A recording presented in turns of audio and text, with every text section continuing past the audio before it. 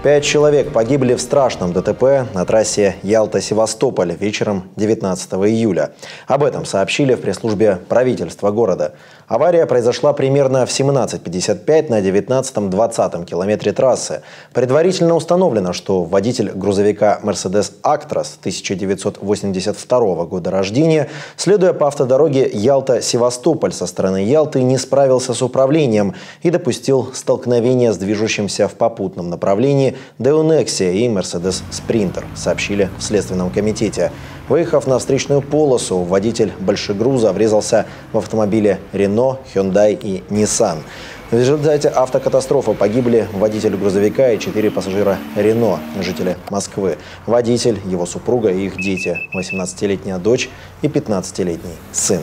Пострадавшие пассажиры Hyundai доставлены в больницу с различными травмами. Их состояние стабильное. Угроза жизни отсутствует. Выражаю глубокие соболезнования родным погибших. После выяснения личности всех погибших и пострадавших будет организована работа с родственниками и оказана необходимая помощь, отметил губернатор Севастополя Михаил Развожаев.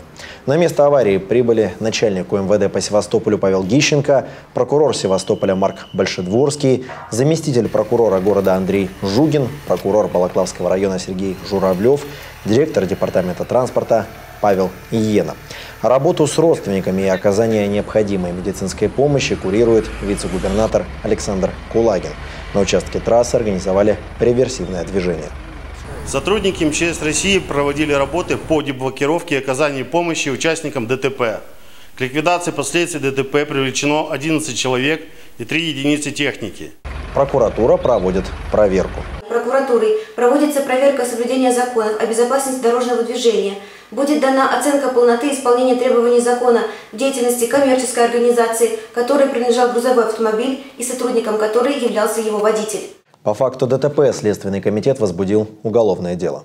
Следствие рассматривает ряд версий произошедшей трагедии, среди которых неисправность большегруза, состояние здоровья водителя, нарушение правил дорожного движения. Проведены обыски в офисе работодателя, изъята вся необходимая документация, представляющая интерес для следствия по техническому состоянию транспорта и прохождению медосвидетельствования водителя большегруза. В настоящее время допрашивается широкий круг лиц из числа свидетелей, устанавливаются иные очевидцы, обладающие ценной для следствия информацией.